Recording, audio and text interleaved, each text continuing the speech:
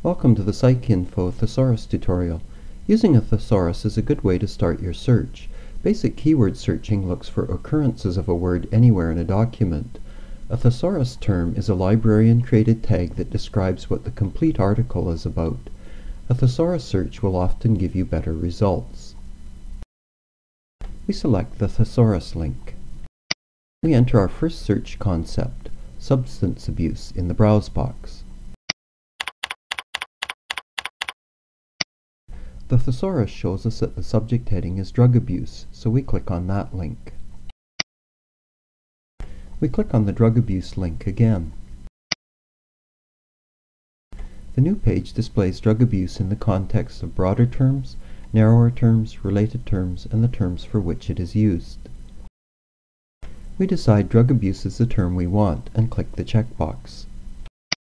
If we were combining more than one thesaurus term at this point, we would have to decide whether to combine them using AND, OR, or NOT. AND would find articles with both headings, giving us fewer results, OR would find articles with either heading, giving us more results, and NOT would eliminate articles containing the selected headings.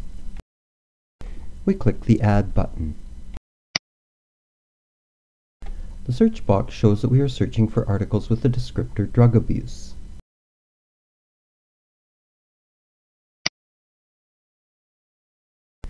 This search gives us 29,576 results. We return to the thesaurus to browse for our second search concept. We type group therapy and browse. The thesaurus term is group psychotherapy, so we select it. We click group psychotherapy to view it in relation to broader, narrower, and related terms.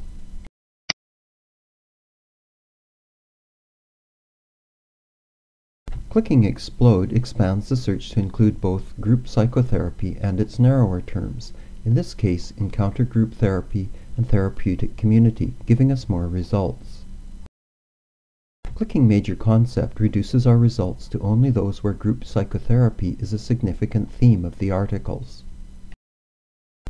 We decide not to explode the search or limit results to Major Concept and click the Group Psychotherapy checkbox and click the Add button and search. This gives us 15,212 results. We clear the search box and click the triangle to open the search history and select the checkbox next to our searches. We click the Search with AND button to combine the two searches and look for only articles with both subject terms.